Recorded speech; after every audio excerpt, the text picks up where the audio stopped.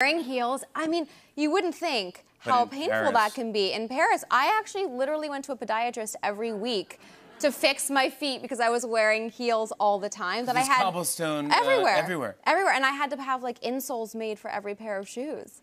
Oh my god! I'm gosh. not kidding. Like, I let's felt- do, I let's do a year. Let's do a season where uh, Emily just has to wear sneakers. Yeah, Emily in flats. Yeah, Emily in flats.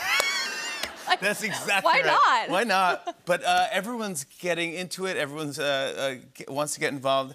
Uh, I'm sure you saw Peyton Manning on Weekend Update on Saturday Night Live a couple weeks ago.